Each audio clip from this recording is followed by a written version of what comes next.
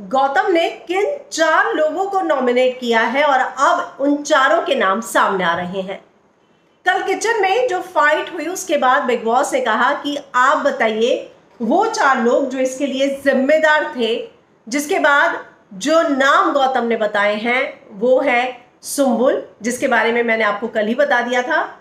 दूसरा MC stand तीसरी, गोरी और चौथी, सृजिता। तो शालीन के साथ ये चार लोग जो है, इस हफ़्ते के लिए नॉमिनेशन में आ गए हैं। यानी कि इन चारों में वोटिंग होगी और इन चारों में से कोई एक एलिमिनेट होगा। पिछले हफ़्ते एलिमिनेशन रोक दिया गया था क्योंकि पहला हफ़्ता था और अक्सर देखा गया है कि पहले हफ़्ते नॉमिनेशन जो है एलिमिनेशन होते ही नहीं है। तो अब खबर आ रही है कि गौतम ने इन चारों को जो है नॉमिनेट कर दिया है।